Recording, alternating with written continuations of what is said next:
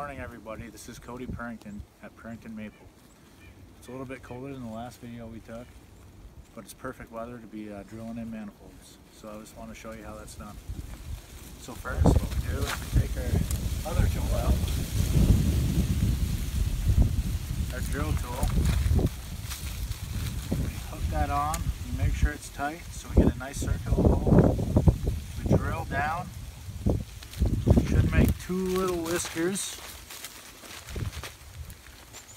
we take it off, we pull those two little whiskers out so that they don't go down our lines and clog stuff up. We then take out this manifold, which is the best on the market and what we sell at Purinton Maple. We then put the gasket in, push the manifold down, Sometimes it's a little bit of a pain. Goes down, clamp it,